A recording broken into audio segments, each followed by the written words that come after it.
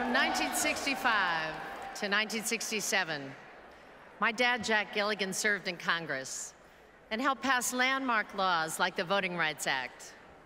Dad later became another great governor of Ohio.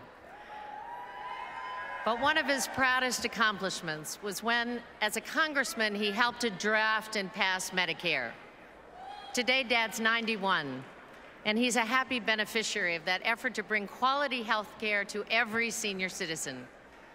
And President Obama is building on that legacy by bringing quality and secure health care to every American. I was governor of Kansas when Mitt Romney was governor of Massachusetts. Now, many of us watched in amazement, envy even, as he passed a universal health care law in his state. Well, Republicans may see Romney Care as a scarlet letter, but for us Democrats, Obamacare is a badge of honor. Because no matter who you are, what stage of life you're in, this law is a good thing. First, if you already have insurance you like, you can keep it. Insurance companies can no longer refuse to cover Americans with pre-existing condition. That's what change looks like. More than 5 million seniors have already saved money on their prescription drugs, and almost 33 million have benefited from free preventive services. The president has cracked down hard on Medicare and healthcare fraud, recovering a record-breaking $10.7 billion over the last three years, protecting our senior citizens. That's what change looks like. This law gives tax credits to 360 small businesses so they can give their employees health coverage and an array of affordable private insurance plans to choose from. That's what change looks like. If you're self-employed, between jobs, or can't get insurance through work, you'll have access to affordable health insurance, as good as Congressman Paul Ryan's. That's what change looks like. If you're under 26, you can stay on your parents' plan. You can go back to school or get extra training without fear of a health catastrophe bankrupting your entire family. Over 3 million previously uninsured young adults are now on their parents' plans. That's what change looks like. Under Obamacare, insurance companies can no longer discriminate against women. Now before, some we didn't even cover women's most basic health needs like contraception and maternity care but still charged us up to 50% more than men for a worse plan.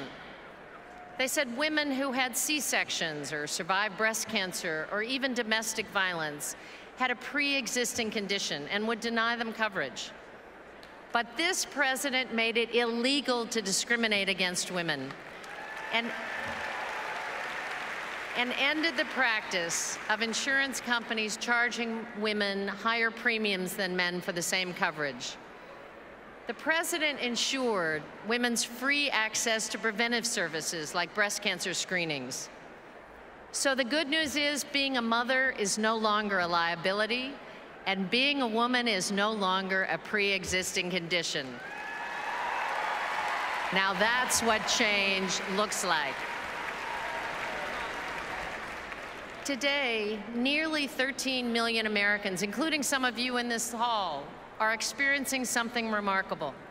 Instead of sending your checks to your insurance companies, your insurance companies are sending a check to you, over a billion dollars out this year alone. Because if insurers don't spend at least 50% of your premium dollars on your health care, you get a refund. That's what change looks like. Now, I've spent my career fighting the worst practices of insurance companies. I know how tough it is to stand up to powerful forces that prey on consumers. Governor Romney and Paul Ryan know how tough it is too. That's why they won't do it. They'll let insurance companies continue to cherry pick who gets coverage and who gets left out, priced out, or locked out of the market. President Obama is making sure that everyone, from cancer survivors to children with asthma, get the care they need. What's missing from the Romney Ryan plan for Medicare is Medicare. So instead of the Medicare guarantee, Republicans would give seniors a voucher that limits what's covered, costing seniors as much as $6,400 more a year. President Obama extended the program's life by eight years while improving seniors' benefits and strengthening the Medicare guarantee. The president agrees there should be no vouchers. Romney and Ryan will take away women's basic health services and turn a blind eye to insurance discrimination. President Obama stands up for women, giving us control over our own health care. Romney and Ryan would put insurance companies back in control.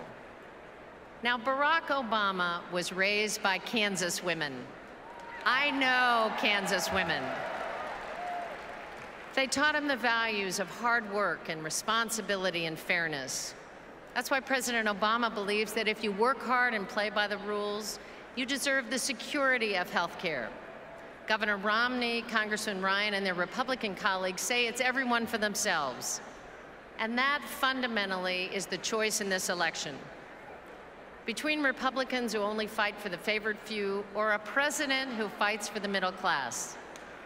Between a nation whose politics play on the worst of our fears and a nation whose law reflects the best of our values. 47 years ago, my dad proudly watched President Johnson sign Medicare into law. That day, President Johnson said, few people have the courage to stake reputation and position and the effort of a lifetime on such a cause when there's so few that share it. President Obama is one of those people.